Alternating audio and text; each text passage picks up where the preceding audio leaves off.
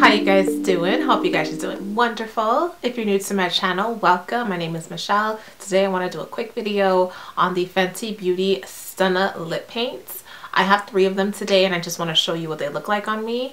I love Fenty Beauty love Rihanna and I love lipstick. That's like my signature thing on my face is my lipstick and I haven't tried any of her lipsticks before so I'm really excited. It is a liquid lipstick. It's supposed to give you a very comfortable matte finish. The claims is that the lipstick is supposed to give you a 12 hour wear which is a really long time so we'll see if that actually does hold up but you're supposed to be able to just get it all on your lips in one stroke. The three colors I have for you today are in Unveil, Uncuffed, and unbutton. I'm wearing Unveil right now. It's a beautiful chocolate brown color. So I'm gonna go ahead and try them all on for you and then I'll give you my final thoughts at the end. I'm using all natural lighting so this is a color that you should be able to see when you look at someone. There's no studio lights. This is a true color. So let's go ahead and get started.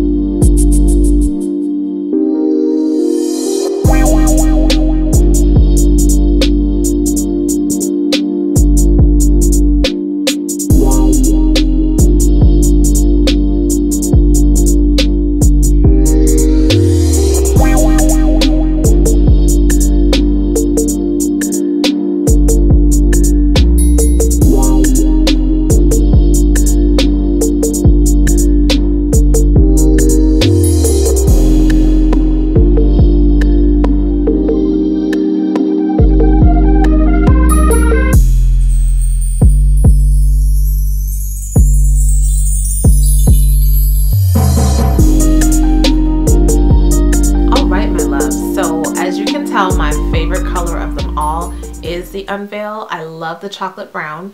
It is difficult for me to find a good chocolate brown that doesn't look dusty, doesn't look like it's just my skin, and it doesn't look like it's chalky. So first and foremost, the packaging beautiful. It's very sleek and it's very glam. I wasn't so fond of the tip of it. It is like a cushion and it's made to be able to apply very easily but for me I felt like the actual lipstick was gonna drip from it even though it didn't. I just kept feeling like it was gonna drip from it because it's such a big sponge at the end but I will say that I love the wear. This liquid lipstick does stand out and I'm not just saying that because it's Rihanna or because it's pretty. It's a very unique formula. Most liquid lipsticks are very, very, very drying and the ones that are not drying, they tend to just kind of like wipe off after a couple minutes.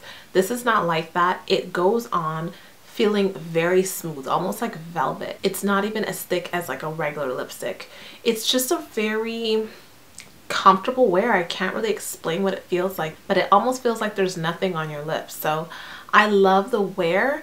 I feel like that's what would make me gravitate towards this brand versus another brand if the colors were almost identical. I would pick this one every time and I think that the price is also because of the difference in the wear. The colors are gorgeous but it is $24 per lipstick. So that is pricey. You are getting quite a bit and you know I love the fact that there's a collection and they all start with un. I think it's so creative but the price point is steep unless you love the color Personally, I really wouldn't purchase it unless I love the color. However, the wear is phenomenal. It feels so comfortable. It's not drying. It's not getting on my teeth. It looks very natural. I love this color. The nude one, Unbutton, which is like a peachy nude, I love. But obviously you saw when I first put it on my lips, it looked like chalk.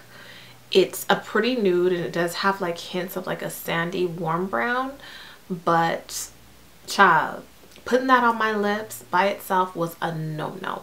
And even when I lined it after the fact, just so you know, when you line your lips after you put on liquid lipsticks, a lot of times it just looks like lip liner just sitting on it because it won't blend. Um, so that was, you know, my mistake. But even when I put it on before, it still looks way too bright. It's just not for my complexion. But you saw that I added a little bit of the gloss bomb on it and it looked really pretty. It looked like a really nice nude natural lip. And if I was to wear it that way each time, then yeah, I would definitely love the color because it is pretty once you mix it. And I'm pretty sure they're all really pretty once you add the gloss bomb on top of it. And it's a nice kind of like transition from liquid lipstick to a lip gloss. The color Uncuffed is like a dusty mauve pink. They call it a rosy mauve. I like the pink. It's a very pretty comfortable wear. It looks really pretty on dark complexions. I think it would look good on any complexion honestly.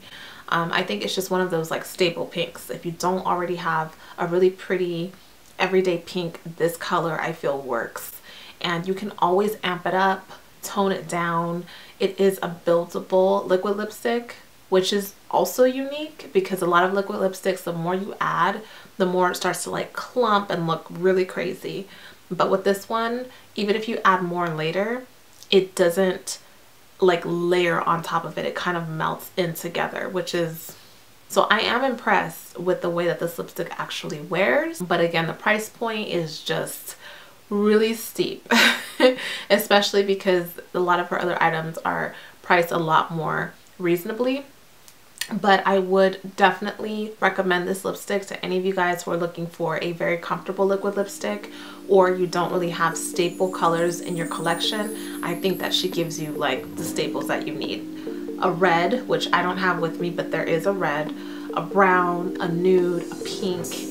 I mean, the lip gloss, you got, you got it all so let me know if you guys have any other questions. Thank you guys so much for watching this video. I appreciate all of your love all of your support. You can check it out at sephora. You can check it out online. Let me know your thoughts and i'll see you guys in the next video. Big kisses. Peace love and light